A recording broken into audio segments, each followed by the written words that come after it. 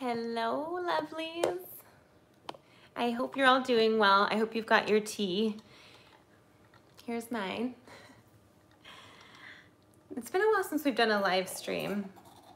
I was actually out of town last week. For the whole week, I took a vacation because I turned 30 last week and I went to Costa Rica. It was absolutely fabulous. It was so magical. Costa Rica is so beautiful and clean and full of lovely, lovely, lovely, lovely people. So I had a great time. I sat in a volcanic hot spring for an entire week and I, I thought I would look 10 years younger when I got back. but um, our flight back here from Costa Rica, we got stuck in Charlotte overnight. And so I slept for like three or four hours and I'm still catching up from that. So I look tired and I probably look 10 years older. I don't know. But anyway, cheers. I'm so glad. Can you guys comment? Are you able to comment? Because I changed my, um, I, I don't know if you guys are able to comment at all. I changed the way that I like do my live streams. Yay! Oh my God, I'm so relieved. Thank you. Hi. Oh my gosh, I'm drinking some Scottish Highlands tea with a little bit of half and half. So yeah, I'm so glad that I'm so glad that you're there because I had to change the when I do a live stream, I had to select that it's not made for kids. I missed you too. Hi, Sylvia. And I had to change that um, I had to do something, it was about like the restrictions. So now the video is not going to be monetized and it won't be shown to children. so I don't, I mean, I feel like my videos are perfectly fine for children. Thank you so much. I try, it takes a lot of work. um, so I, I don't know. So thanks YouTube. I wonder honestly what's gonna happen to YouTube. Do you guys have any thoughts? Um, because I know a lot of people are really upset with the way that everything's being censored and all of that. So I don't know, maybe there'll be another YouTube. I mean, it used to be you tube. Um, and now it's kind of like not YouTube. I don't know. Do you guys know what I mean? so let's have a little sip of tea. I also made um, some chocolate chip cookies for my lessons this week. I, um, I started to eat one of these ones, but I've started to make like freshly made cookies for all my lessons because you know sometimes you come in from your busy week and um, you need a cookie and some coffee or tea or something and just say hello and then you can do your lesson but these are really good. I always put a little cinnamon in the cookies. Mm, very yummy I wish I could give you some. I have like so many. I put them in like a little tiny sandwich bag and just keep them in the freezer. And then each time I teach a lesson, I just take them out and put them in a little cookie tin, bring them to class. So, oh, well, you know, you could tell them, say, maybe you could make some cookies because sometimes I'm hungry when I come to my lesson. so anyway, let me have some more tea. Let's see, what can I tell you? I, so I'm 30 now. I came back from Costa Rica, got stuck in the airport. I'm very tired still, catching up from everything. Um, it's, are you guys okay with this whole virus thing as well? I just want to take a moment to just like catch up and say hello and then we'll get into everything. But um, isn't it kind of scary how the, let's actually, you know what is a better phrase to say? Um, let's say I heard it the other day. It was like, instead of catching, you're catching the happy virus, you're catching a happy virus. So we can, here's some happy virus for you. Sending a happy virus your way. Yeah, I think sometimes our news media, yeah, they need to tell you what's going on, but it can just make you feel really freaked out about everything. So just be smart. I actually bought some, um, hi Carl, yo. I actually bought some um, antibacterial face masks to wear in the airport, which I never ended up wearing because um, I know, I'm so happy, Kevin. I was like, you know, my last couple live streams have been really frustrating because it's been like me just talking to the camera rather than talking to you guys. And that's the whole joy of doing these live streams is to just all be together. So that's nice. Um, but yeah, if you are traveling, here are some travel tips from somebody who has traveled and encountered a little bit of a hardship on the way back. Um, you should definitely go get some hand sanitizing wipes. Just keep them in your bag um, for the plane and just wipe down your seat area when you get on the plane as soon as you buckle your seat. The seat buckle, the little tray, the little wipes there, the hand thingies, just everything, wipe that down and then um, you could, if you're feeling like, you know, if there's somebody that's kind of sick in the airplane or sick next to you, just give them and give yourself a little like face mask to wear. I think it's actually kind of a polite thing to do. I, there was a few people wearing little face masks and you know, in some parts of the world you have to wear face masks all the time just because of the pollution. But they have special ones that are antivirus or anti, not antivirus, but antibacterial. Um, apparently a virus can still kind of penetrate it, but it's um, just trying to keep you guys, you know, happy and healthy. There's also, um, if you live by a Whole Foods, there's actually um, some great little um, like elderberry extract in the elderberry extract, golden seal extract um, with echinacea, those kinds of things. Just oh, thank you so much. Um, those are always really good to keep. They just kind of give you a little immune boost. Um, so yeah, I think those are all my tips bring some little cough drops as well. Those are always good to just for your throat, soothe your throat and everything. And some cough drops have echinacea and other things in them. So anyway, I think those are my travel tips. Also keep a little bag just in case you have to stay overnight somewhere. So bring a change of underwear, bring um, you know, some like, I always bring my cellar water with me, like a cotton ball and then like a little thing of my cellar water and um, some, you know, face cream and sunscreen. I always, I always bring those kinds of things just in case, because you never know. Um, so anyway, I have no clue what to teach you today. So if you have any requests for anything, just shout it out.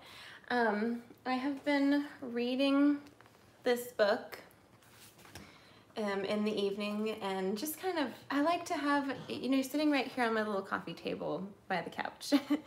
and I like to have some little books and magazines and whatnot here. And it's just really nice. I'm reading this book about trees. I think it's, you know, nice to stay inspired. This is one of the things that I just really love. I love trees. And there's this cute, it's actually all about, I think, the trees in England, Ireland, Scotland, and there's this cute little like poem at the beginning here, just so you can see like how beautiful. Um, this little poem, it's from 1791, which I think is the year that Mozart died.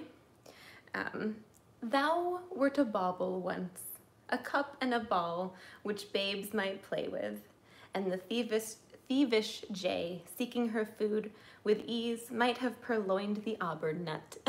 it's actually a long poem, I looked it up, but I just love the phrase, thou wert a bauble once. I just feel like we all need to remember that we were a bauble once and very tiny. And just look how big this tree grew. So yeah, um, another sip of tea, another little bite of cookie. you know, with my lessons this week, and actually for the last, I don't know, it feels like forever, like six months maybe, we've been really studying music history and it's been so fun to use a portion of the lesson, you know, warm up some scales, a little music history piece, and then whatever else you're working on. Um, it's nice to kind of set the lesson up in that way. Obviously cookie interspersed between everything um, and coffee and tea and whatever. But it's nice to have a little bit of music history in your music lesson. I'm really discovering that it's just opening up a whole new dimension of understanding. Um, to so I'm reading this music history book. I, I actually literally took this to Costa Rica with me and was sitting in a hot spring reading this because that's the kind of nerd that I am. It's, I don't know that I bought this for my master's degree or my bachelor's degree. I think I just bought it because I was a music nerd in high school. So I would recommend it. It is a little bit confusing um, if you don't really know music theory. Um, so some parts, you know, just kind of, you might, it might not make any sense, but it is a good one. It's just nice and small. And right now I am somewhere on page 94. and I'm just getting into 1630 to 1770, that time timeline. And so I've been reading all about ancient music, like being a Paleolithic human and the fact that we, you know, as humans, rhythm is very important to us. Like we can all, um, we're all very easily moved by rhythm. For example, if I was to just um, kind of, if I had a drum, this would be nicer. But if you could imagine just listening or just listening to a nice peaceful rhythm and if it goes faster.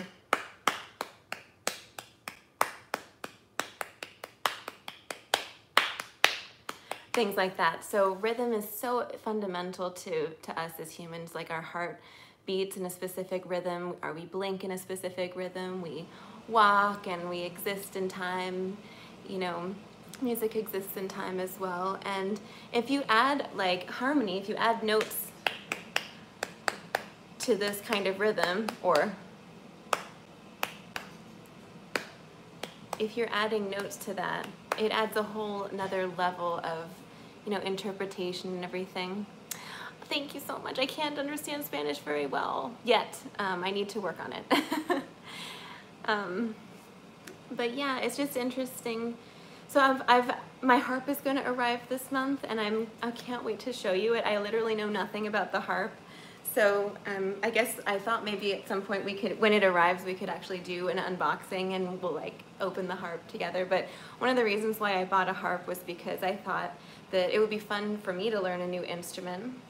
And I liked the idea of just being able to pluck a string and for it to sound beautiful and not have to worry about the bow and worry about intonation, all that kind of thing. So, um, but it's just kind of a nice, like, you know, it's an old instrument. People have had harps for like a thousand or two thousand years. In fact, one of the oldest instruments is a solid gold lyre that was found in a tomb in, I think, like Ur or Ugarit or some ancient city. Can you imagine a solid gold lyre? You're like the king and you're being serenaded by this like golden instrument and I just, it's so magical. So, um, and then just moving through into the medieval time period and moving into the Renaissance and here we are now in the Baroque 1600 to 1750 and just exploring Baroque music. And if you'd like to kind of go along this journey too, I'd really encourage you, you, you like, bookmark this website because I literally talk about it in every live stream. You should definitely bookmark violinonline.com. It's also violaonline.com. I think there's a celloonline.com as well. Um, but if you go to their string class tab, there's actually an outline that's a great starting base for you if you're, you know, even if you don't have a teacher, just start there at Unit 1. It's talking about ancient music, um, medieval music, things from like the first century all the way to like, I don't know, maybe like a thousand AD, I forget exactly when it is. Maybe like up to, I don't know, the 12th or 13th century, but see that's getting into kind of the Middle Ages. So it's just a great place to start. Then Unit 2 is all, sorry, my best friend called me, but I had to ignore her. For you, I'll call her back later, don't worry. Um, so yes, so anyway, go to Violin Online, just go to their string class tab, um, start in unit one and just have that, let that be a little outline for you to, to explore music with. Um, they give you a little cultural background you know, what was going on in history, the scientific developments, the political environment, like all that, just kind of like a few little bullet points. And then the next section is the musical, um, you know, stylistic things from that time period. And then there's like a musical example with a recording and the music, and it's a simplified version of the music. Um, so it might, meaning it's not necessarily in the original key, but it's in a key that's easier for a beginner to kind of um, play. So it's just really good and, and you can, from there at least, you'll have some examples so that if you do pick up something like this, you'll have some like context, you know, musically, um, that you'll have been kind of learning about and maybe recognize some of the composers, recognize anything, at least have some kind of sound in your head. There's also, I mean, then you can Google the um, those pieces on YouTube and find like great performances of the pieces from that outline on YouTube. And you might even just search for composers of the medieval or composers of the, um, you know, Renaissance or the Baroque and like ancient music and just get into knowing that, learn the modes, the ancient Greek modes, um, start to learn your scales. We're learning scales in a really interesting way in lessons at the moment. We're, um, I've got my trusty whiteboard. Where is it? oh, here. Basically, I just use this, and we start with C major. So C major has no sharps and no flats. Oops, sorry. All these distractions. We start with C major and we'll just write out the scale, C, D, E, F, G, A, B, C.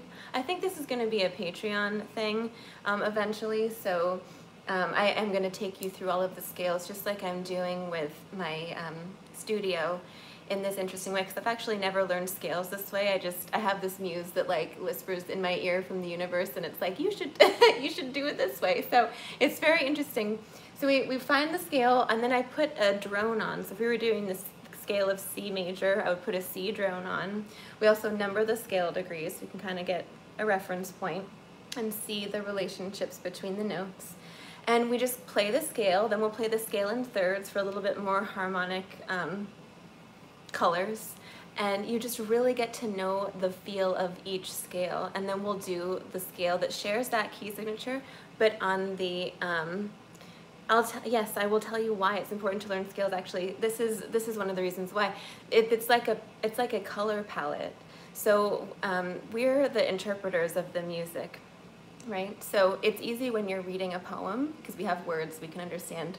Hopefully, if it's in our own language, what the words mean. Um, but in music, we don't have words. We have harmony. So like the feel, the notes. We have rhythm. Um, and that's kind of sometimes there's words but that's kind of it. Those are like the main things. You've got your rhythms you've got your harmony. Um, and th those two things can help you to interpret the piece.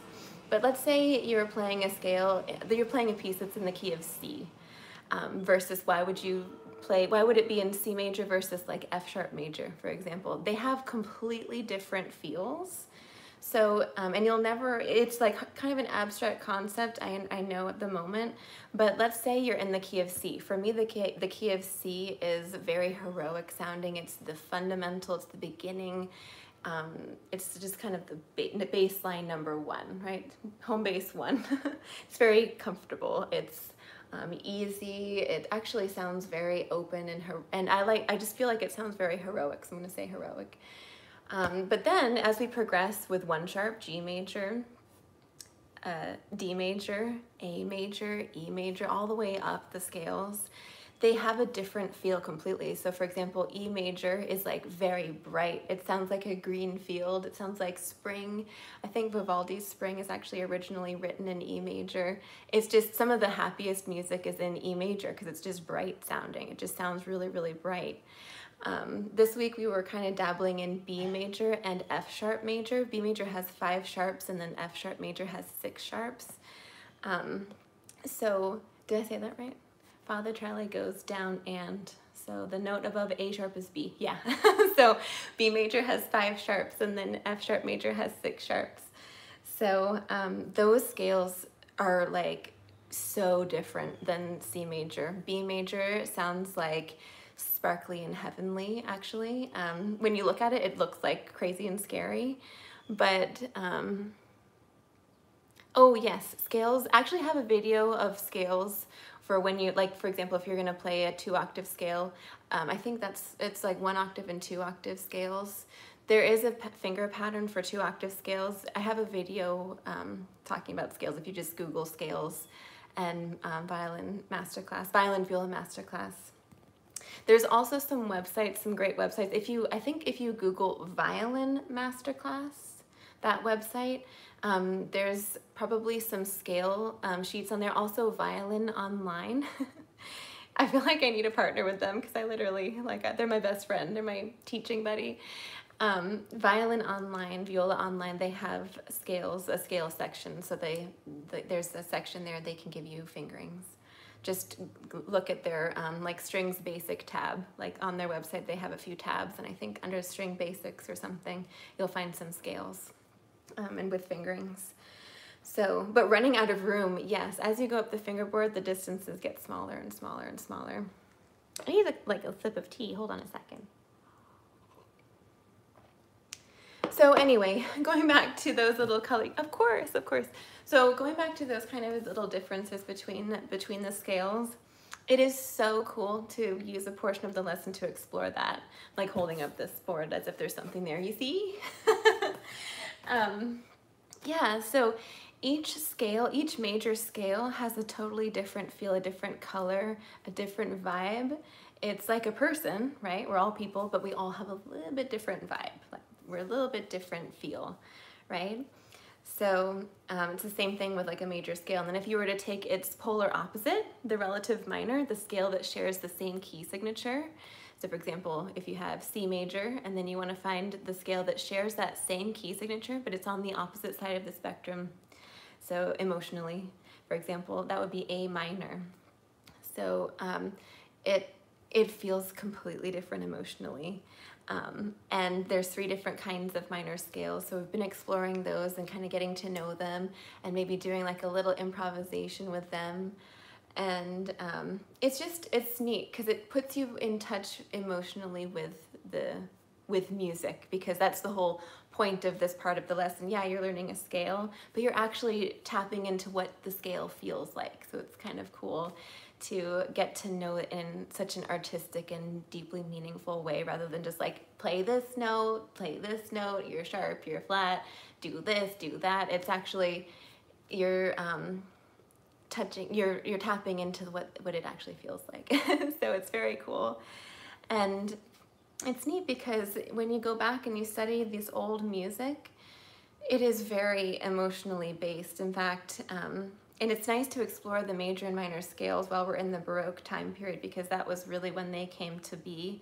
Before then it was all kind of like modal and just, um, but it really started to crystallize into major and minor scales um, in the Baroque time period. So harmony became much more complex and more interesting. And um, yeah, so it's neat to explore the scales during this time period as we're studying the Baroque time period but it's also um, neat because in the Baroque time period, there's this like element of contrast. Like if you look at the art from that time period, and I don't, I'm not an expert, just by like the small amount that I have learned over this small period of time, looking at the art from that time period, it's all like very dramatic. And one of the ways that you can make things dramatic is by upping the the ante, like um, upping the contrast and the the emotion. So for example, using black and then using white, they're complete opposites. So they're very contrasting, right? Black and then white. so um, there's lots of art from the Baroque time period that looks very, very dramatic. It's also like on a really large scale. So it's really meant to grab you emotionally. Um, there's a lot of expression in the faces of the people and even in the um, their their position so they're not just you know standing like this they might be standing like this for example. So this one versus this one has a little bit more like attitude in there. So what's my favorite time period? I honestly, I don't know that I can say that because I, I don't know yet because we're going through all of these time periods and spending, you know, so much time in each of them and really getting to know them in a way that I never learned them in school. So it's fun to learn along with my students, you know, about this time. So, but I think so far, I really like medieval music. I really, really like medieval music. It's like, I keep saying like, I'm sorry. It's very simple and I, I just really like the simplicity of things. I don't like things that are like super crazy sounding. Um, they're just, they they just have their thing. They just do everything just nice and easy and it's just a beautiful sound and it's very uplifting. Like a lot of the music is actually supposed to elevate you. So yeah i think i like the medieval time period. I like renaissance music. I you know i think once we go through all the time periods i'm just go back to the very beginning again and try to get to know it more. It's just music is this study that just is a lifelong journey. I mean, you're when you're learning music, you're if you learn it in this interesting way, you have you have to learn the the historical time period, right? So that you have a context of understanding like what was going on in the world, like what was going on in, in Europe, for example, because that's where Western music really originated was in Europe. What was going on in Europe in like 900 AD or like in 800 AD when Charlemagne like united all of Europe and then all of a sudden all of the Catholic churches needed to have the same music. Um, so then they needed to create a system that like the music was you know, in one place you could read it and, and know it in another place rather than just kind of kind of knowing the music, kind of writing it down, it needed to be specific. So coming up with a notation system for that and just, um, I don't know, it's just really interesting. It's interesting to me. And then the scientific developments and then the looking at the art and then looking at the, the poetry is so interesting. Like if you, I'm really learning that words and music I mean, that's a very old thing. That's where the word melody comes from. They just go hand in hand. So even our musical phrases today, they're like musical sentences. They, um, they have a beginning and then they have an end. And just like when we talk, it's, um, we don't usually end a sentence like this. we end a sentence like this. So it kind of tapers at the end, unless it's very specific. So music is also that way too. It's just so connected in the way that we we talk. So anyway, I'm just going I'm just really enjoying this exploration of music at the at the at the moment. And it's just fun. I'm so blessed to, to be able to do this, you know, with my students every day and just make it fun. My goal, I mean, I think my goal is to just have fun. That's like what my life is all about. It's just I just want to have fun. Yeah, it's going to be hard. but at the end of the day, it would be nice to enjoy, have enjoyed the day and have learned something and do something to feed your soul. I think it's just nice. Like going on this long soliloquy. Does anyone have any questions about anything? Um, like any music lesson related things or are you just, you know, listening to my amazing thoughts? I'm just kidding. You know what, let me read you this little poem. I'm gonna read you, remember the Thou Wert a Bauble thing? I, I did find it.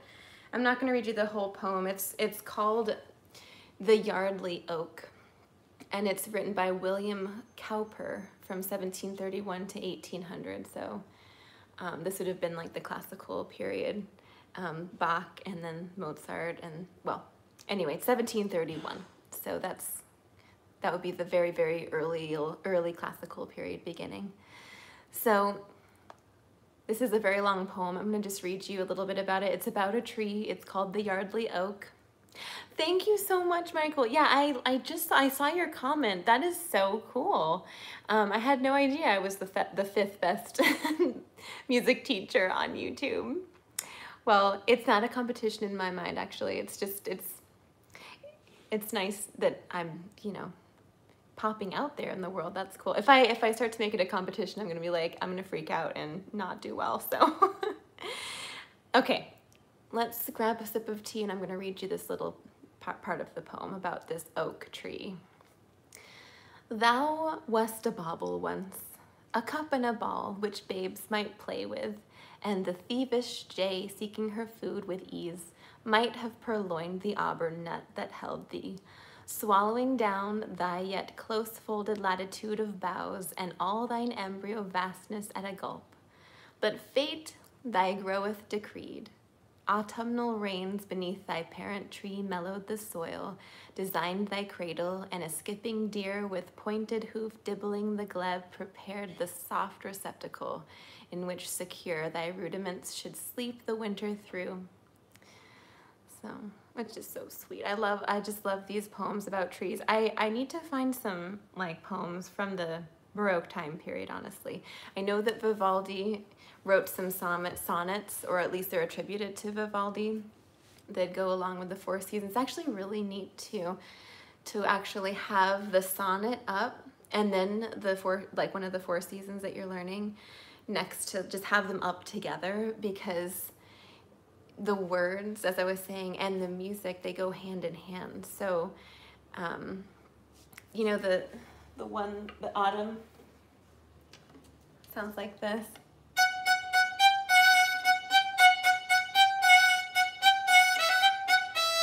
That one's all about like an autumn festival, apparently. It's about like, um, you know, celebrating a bountiful harvest and then like drinking too much wine and falling asleep in like happy revelry. So when you play it, the bow has to express that. Oh, and it's also something about dancing. So when you dance, you need a nice, clear, strong rhythm. So if I was to play,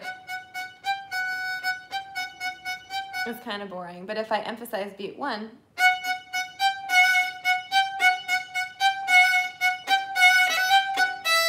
all of a sudden it has a little bit more attitude, which is neat. So, and, and you might not, you know, know to do that unless you had the word dance there. Oh, it's a dance. People are dancing.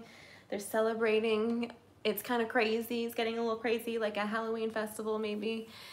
So, and then the, the Largo from Winter, I think we did talk about this at once, uh, at one point on one of our live streams, but the, um,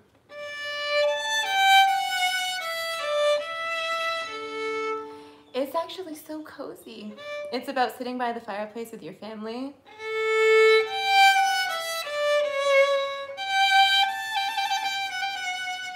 And it's like raining and it's just cozy outside or inside while it's raining and wintry and it's just nice because knowing those little things from the words of the poems, it just can help you as the artist interpret it.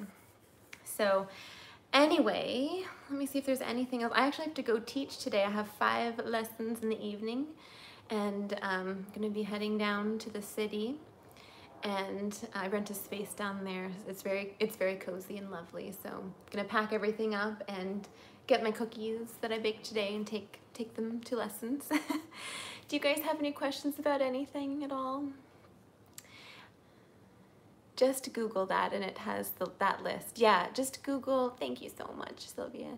Google um, Vivaldi Four Seasons poems or sonnets and um, that should come up. It's just, it's interesting. I need to maybe like look into Baroque poetry, Google Baroque art, and it's nice, it, it is nice for us to learn through contrast. So if you Google Baroque art and then the period right before that, which was the Renaissance, Renaissance and Baroque, and then even medieval. If you can look at all three of those, it's going to help you to see the, the progression um, of art. And then you could even look at some poems, like Shakespeare was in the, Renaissance, right? I think in England.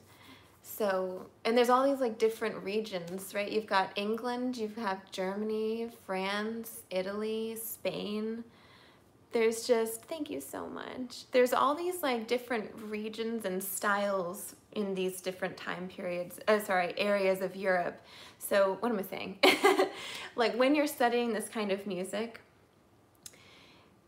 there's, if you're looking at a French piece, it's gonna have a little bit different sound um, than a German piece or an English piece or a Spanish piece or an Italian piece um, they all kind of like value a little bit different things in their music from from all these time periods and it oh my gosh looking into the troubadours would be I, I like desperately want to be a troubadour. That's like what I would love to be. So in fact my my music teacher my very first music teacher she's like my mom. She she lives in Alaska now but she was visiting last year. I think it was last year. Anyway and she was like we should go like play music outside. And I was like what? She's like, we're troubadours, we're troubadours. We should go like serenade people. Like, let's go share our, you know, music with humanity and uplift everybody. And, and I was just like, I, I can't do that. Like I, I like play, I would, I have to practice. Like I have to practice everything and I, I don't even know what we would play and everything. She's like, let's just go. But we never ended up doing it because we both just got tired and we just wanted to just enjoy being together. But she the fact that she was like we're troubadours. Like we're troubadours. We have to go you know bring music to the world. So i just loved that. And what a fun fun thing to be. In fact a lot of troubadours were from the aristocracy. Like there's um, a duke of aquitaine. I think i'm probably pronouncing that wrong. But he fought in the crusades. He was french. He fought in the crusades you know, he commanded this army, he wrote poetry, and he wrote music, and he was a troubadour. So imagine like such a well-rounded, uh, what would you call that? The aristocracy? I don't know. It's just I guess if you were if you were a noble person, you were really expected to to be like to have a noble education, to like think nobly, that your thoughts were actually higher and elevated, that you had actually the time even to contemplate anything higher than just, you know, eating and surviving and shelter and, you know, your health and your family and everything. So it's it's nice now that today we have all this time. We have all this time. We could actually spend our time elevating our thought and um, doing something that's really beautiful. Like you can actually add so much beauty to your life, which is, you just got to remember, like, actually, you're really, you are in control of your life. So just take your life by the reins and then just go make your life how you want it. How could you make your life more beautiful? How could you make your life more comfortable and fabulous and cozy and, you know, exciting or just more happy? How could you make your life more of a, of a life that's meaningful and joyful for you because you really only have you just have this one like time. So and every second you have a new opportunity. So even if you've been in something for you know a year or five years or 10 years or you know a hundred years you could decide to change something in every second is just a new moment. So that's my out there thought for you this one. I'm gonna love and leave you, you guys. Thank you so much for all of your support and thank you to all of the new subscribers and patrons. Every month, if you're curious about Patreon, I did upload like a really a brief clip of just a mini lesson that I, I upload every Monday on Patreon. I actually put that on my Instagram. So if you are, it's if you want to stay in contact more, just follow me on Instagram. Just go do it. It's Violin Viola Masterclass on Instagram. I always, I try to do a story every day. So just like a little clip of either my music lessons or what I'm wearing as a teacher or just anything like just some, what I'm doing, that's in the story. And then I might just like post, you know, little pictures of videos during the, during the week. So, um, follow me on Instagram, Violin Viola Masterclass. And then if any of you are interested, if you want to have something to supplement your lessons, because there's really, the thing with music teachers is we only have you for an hour every week. so there's literally so much. Like I've spent 40 minutes almost just babbling to you about something that I feel is, you know, interesting and important. But if I spent 40 minutes in your lesson just talking to you about this, you'd be like, you know, I have to like play a scale or something. I have to play, I want to learn something. So there's only so much time. So that's why this Patreon thing is like a supplemental thing. It's only a dollar. And um, my goal really is to take you through just some really fundamental things. So we started with intervals. We went through all of the intervals, although I forgot the octave. So I'm gonna have to go back and add the octave in there. And then once we've done all the intervals, which we did, we are moving on to the hand patterns so that you can apply your intervals into your fingers and just get those basic, you know, four hand patterns down on one string. Then we'll do it on a half step. Then we'll do them between the strings and maybe across all the strings so you can kind of get around. And then after that, we'll start to learn the scales. I wanted to share you that I know I forgot the octaves. We'll, we'll go through the scales and I really want to share with you, you know, how I've been teaching the scales because it's so interesting and meaningful. It's like an artistic color palette. Like you are looking at this shade of, you know, blue and you, oh, I like the darker blue or I like the lighter blue or I like this greenish blue or this like, you know, blackish blue, like all these different kinds of shades of blue. And it just, it's nice to tap into music in this way um, in this feeling way and use scales to do that. So um, yeah, so Patreon is basically just this place where I, am going to be incrementally like giving you content every Monday. It's just a six or seven minute or so video that I publish every Monday. Um, yeah, so that's just patreon.com slash violin viola masterclass. Like everything is violin viola masterclass. My website is Violin Viola Masterclass, Instagram Violin Viola Masterclass, the YouTube channel. Um, what else? That's it. I just have my website, Instagram, YouTube, and Patreon. That's it. Those are my four things I use. So anyway, you guys, I'm gonna love and leave you. Thank you so much for joining, and I'm so glad that we got the, you know, the comments I'm gonna, I'm sending a great big hug. Actually, let's um like do this. Put your arms around yourself and I'm gonna send you a great big hug. I don't do Twitter. Yeah, hey Fanny. yeah, no Twitter. No, I don't know why I don't do Twitter. Sometimes you need to give yourself a hug, right? But just pretend that it's me giving you a hug, right? So all my love and is going your way. All my love is going your way. Okay, so I'll see you, um, let's see, this week, next week. I should be able to meet next week. It's just a little crazy the first two weeks this month, um, but the end of February we'll be back to kind of normal. So um, if I happen to not be here next week, I promise that I'm not I'm not abandoning you. It's just I'm traveling a little bit. So um, anyway, yeah. okay, I love you guys. Uh, please follow me on Instagram. Go check out Patreon. It's just a dollar, or you don't. It sometimes there's stuff there that's you don't have to even subscribe for, but it's there for you if you want it. And I will see you very soon. Mwah.